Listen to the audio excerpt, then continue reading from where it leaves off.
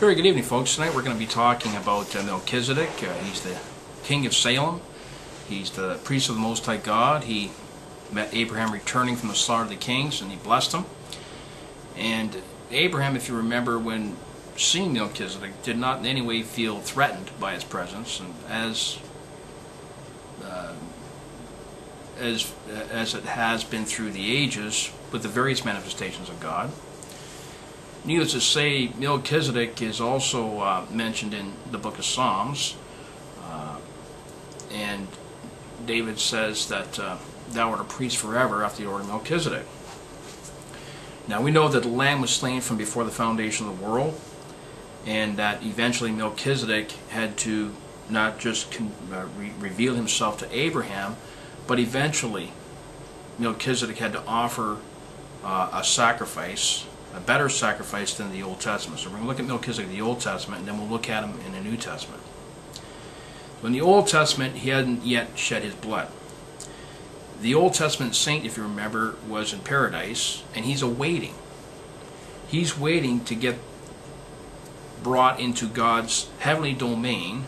Uh, and he's waiting there. He's not suffering, you know, uh, judgment for judgment of sin or anything of that nature. He's, he's totally justified. But we got to bear in mind that the blood of bulls and goats can never take away sin.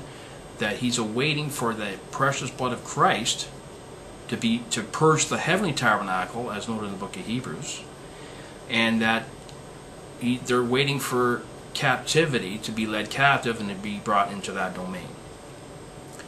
So Melchizedek of the Old Testament had obviously not come the flesh yet. He's he foreshadows Christ and he foreshadows the fact that God demands death for sin, judgment for sin, blood for sin. He foreshadows the fact that in eternity past, God understood that through predestination, through foreknowledge, that man would sin, and that God had to make preparation or provision to deal with those sins, as expressed through Melchizedek, the blood that would be shed, and him offering himself as the Lamb of God. That was predestined from before the foundation of the world.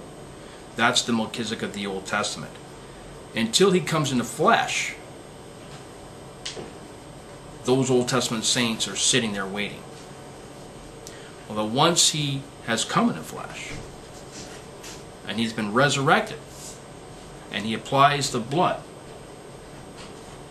in the heavenly tabernacle, and purges that heavenly tabernacle, he can now bring those Old Testament saints and lead captivity captive and bring them right into his domain.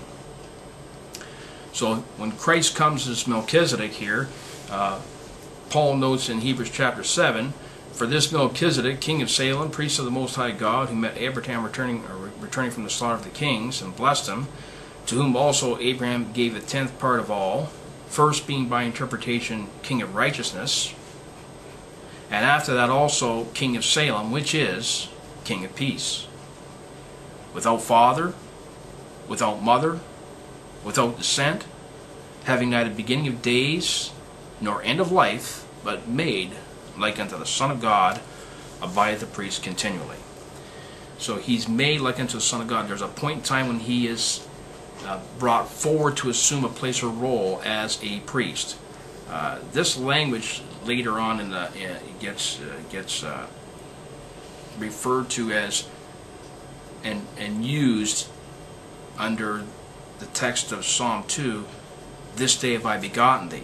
He's brought forward to assume a place or role but he had no beginning. His goings forth were from of old from everlasting.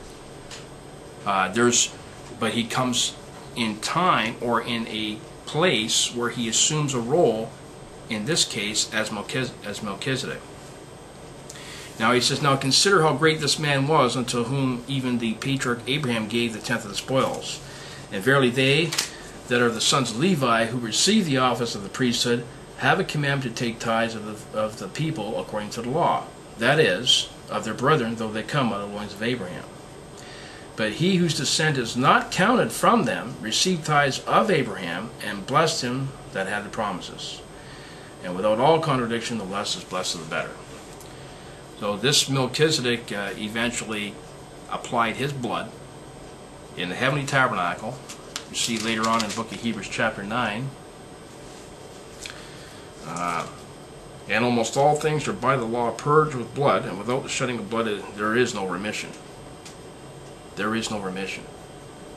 And he is the mediator of the New Testament, that by means of death, for the redemption of the transgressions that were under the First Testament, they which are called might receive the promise of eternal inheritance. So the Old Testament Melchizedek is, is the same person, it's just that the blood had not been shed yet. So we have the contrast of the two testaments. The Old Testament under the law, where the blood of bulls and goats couldn't take away sin. It merely allowed a separation to take effect where God could take the righteous and put them in a domain, awaiting for the day when Melchizedek would emerge to apply his own sinless blood in the heavenly tabernacle, now to allow those saints to be removed from that domain and then brought into that new heavenly domain. So I hope that helped bridge a couple of things related to Melchizedek of the Old Testament, understanding he is the same Melchizedek of the New Testament, only the work had not been yet fulfilled, and also understanding that he was brought forward to assume that place and role, but as the scriptures state, his goings forth have been from of old, from everlasting.